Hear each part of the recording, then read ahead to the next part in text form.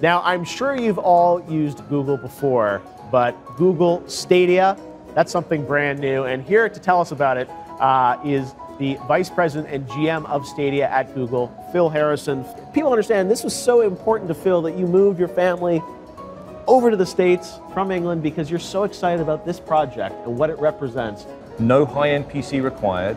Uh, it takes a company with the scale and uh, infrastructure deployment of Google right. to be able to do this properly. And that's a key thing. It's like this is not a pipe dream coming in, you know, five years. It's like you said, this November, people will be able to buy in and literally get that controller and start playing across a bunch of devices. But you're you're still buying the games, right? Some people thought maybe it was going to be a subscription service where you were going to sort of pay a subscription price like a Netflix and get everything. But the model right here is something like the Founders Edition. You're going to buy that, and then you're going to have sort of a monthly charge eventually for it, and then you'll also pay some amount of money, like whatever it is, to buy each individual game like you would in the past, right? It's up to the gamer how they want to right. engage with our platform. But remember that the games are not linked to a particular device anymore. Right. That one purchase gives you the value across your TV, your PC, your laptop, your tablet, and your phone. So any screen in your life. Um, we think that that is a, a, transformational moment for, for gamers. It's only $129 to get into the Founders. So will you... And so this is something that we will lean into. And yes, over time it will take developers a little bit of time yeah. to unlock all of those features. Short order from now, you'll see uh, publishers uh, starting to think about their own subscriptions as well. Buying a game that you don't really own at the end of the day, that people have this fear that it's like, you know, I'm going to buy this and Google's going to shut it down, or I'm not going to have access to it, or I want to be able to download it. Google is incredibly committed to this yes. platform. Um, yeah. I'm personally dedicated yes. to this platform. But you, uh, under, do you understand why gamers have that trepidation? Of course, 100% committed. Okay. Yeah, we're, we're building studios, yeah. plural. Um, we're working with second-party developers to bring games uh, yeah. to our platform. Well, it allows us to be uh, completely screen agnostic. It allows right. us to deliver the same game experience to a phone or to a TV and everything in between. I love this video because it aged like the finest of milks.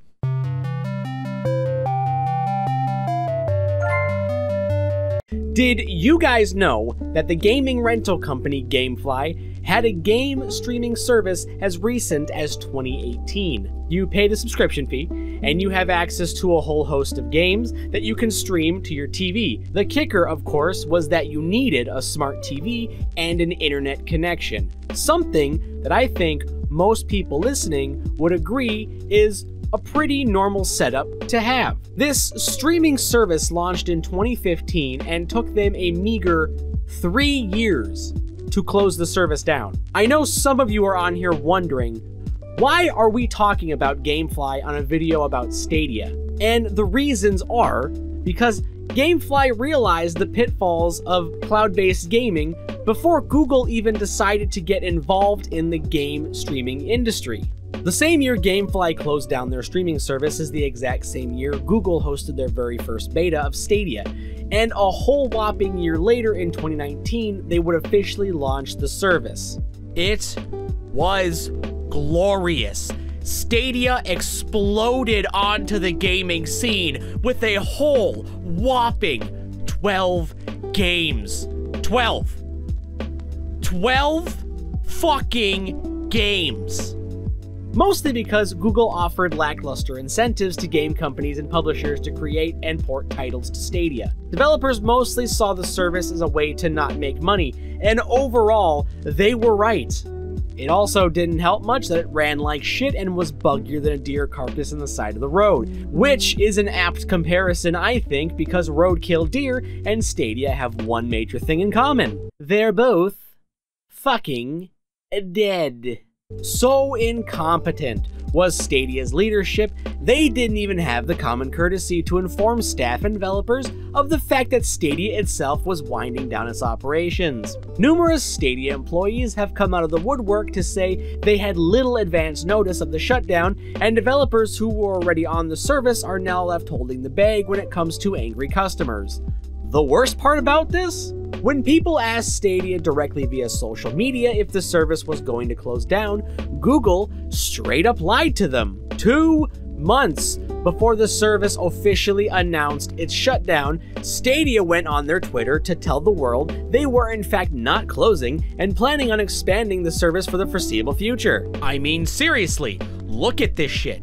Literally, look at it. This is Google officially lying to customers. I frankly am not entirely sure this doesn't count as false advertising. Stadia engineers had it even worse, with only hours of notice before Google shot Stadia in the back of the head. Because Stadia was always going to die. It was never going to revolutionize the industry like Google had hoped. A sad little life marked with a fair amount of mediocrity.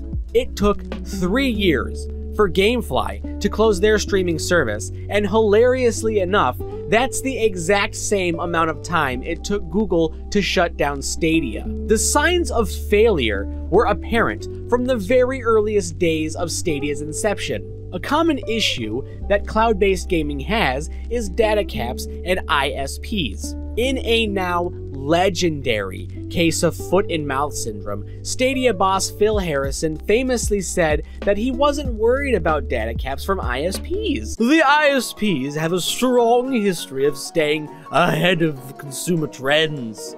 And if you look at the history of data caps in those small numbers of markets, mm, and it's actually a relatively small number of markets that have data caps, the trend over time, when music streaming and download became popular, especially in the early days, when it was not necessarily legitimate, data caps moved up.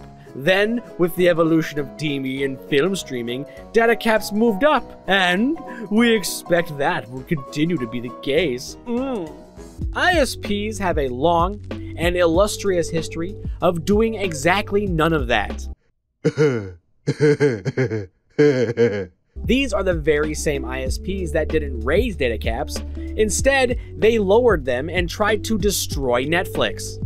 It is so incredibly laughable that Phil compares gigabyte heavy games to music streaming, which comes in at a much lower data rate. And you can be sure as shit skeptical when Google's brilliant business strategy involves just basically assuming ISPs will get behind Google, which is a competitor ISP. Because of course that's how they run their fucking business! ISPs are smart, and they understand that they're in the business of keeping customers happy and keeping customers with them for a long time, Harrison said. Oh, God, Phil, you silly, stupid boy. Google plans literally had guessing as a major component of Stadia, a service basically run on the whims of a forest dwelling witch that carelessly throws handfuls of chicken bones onto the dirt and tells you the future. Plus, can we seriously have a discussion about ISPs here? Since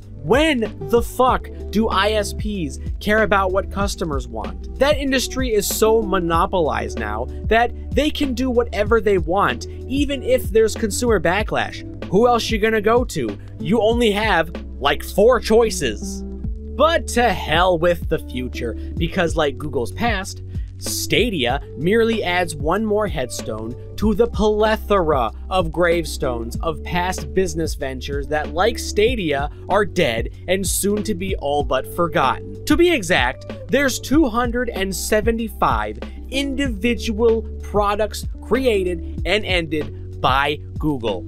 Some of these services had literal months of lifespan, such as Google Clips, Google Glass, and the Nexus Player. Well, hello, Nexus Player. Don't you look fucking familiar? This is Google, folks, a company with seemingly more cash than brains. Google conceptualized new ideas by, I'm assuming, taking barrelfuls of cash and throwing them into an incinerator only to peddle new gimmicks while their old cash burns. Spouting the same old corporate word salad about how they're dedicated to the new thing they're interested in and will support it forever and ever in perpetuity, only to pull the plug when the service isn't embraced by the public after Google did everything in its power to ensure whatever pet project it was currently trying to shove down your throat was not marketed or actually supported at all.